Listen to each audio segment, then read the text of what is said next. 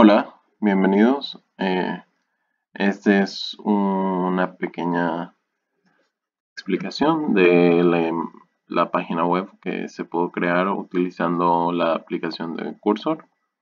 Eh, la aplicación de Cursor es una herramienta muy útil para poder diseñar eh, ciertos programas, en especial si no tienes mucha experiencia en algún área en específico. Por ejemplo, yo no tenía experiencia en el desarrollo de aplicaciones web y gracias a Cursor pude diseñar esta, esta página en un par de días.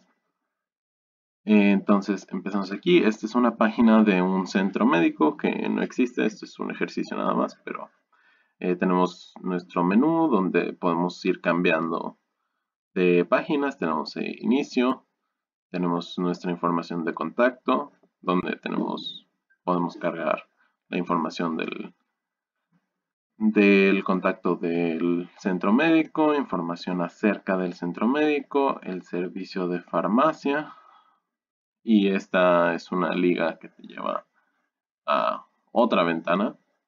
Y también claro tenemos nuestro, nuestro equipo. Eh, en nuestro equipo tenemos a nuestros profesionales de salud, tenemos a gente desde cardiología, pediatría, hasta si nos vamos más abajo tenemos eh, psicólogos y fisioterapeutas. Entonces la idea general es que tú llegas y buscas al profesional que necesitas y digamos, no sé, necesito ir con el doctor eh, Carlos Rodríguez, ¿no? Porque necesito una consulta de ortopedia. Entonces yo le doy clic aquí a su nombre y me aparece esta nueva ventana. En esta ventana me da su información, eh, dónde estudió y las condiciones comunes que trata. Y digo, bueno, yo quiero hacer una cita con el doctor. Entonces doy clic en el botón de hacer una cita y esto me lleva a un chatbot que está potenciado por inteligencia artificial de parte de Gemini, que es una herramienta de Google. Entonces yo aquí puedo poner mis datos. Este me pide el nombre completo, lo envío, que puedo ayudarte. Quiero una cita.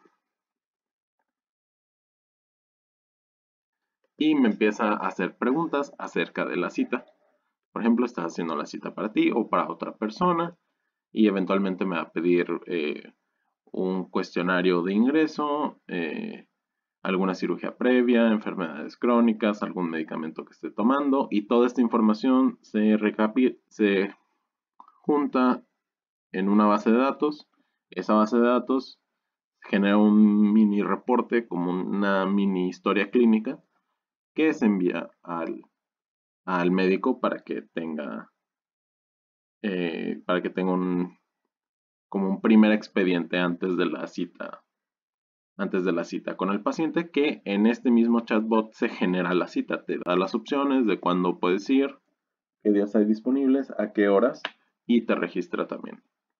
Entonces este es un ejemplo de qué es lo que puede hacer una persona sin experiencia utilizando la la herramienta de Cursor y espero que eh, si están viendo esto se animen a utilizarla. Es bastante fácil de usar y tiene mucho potencial.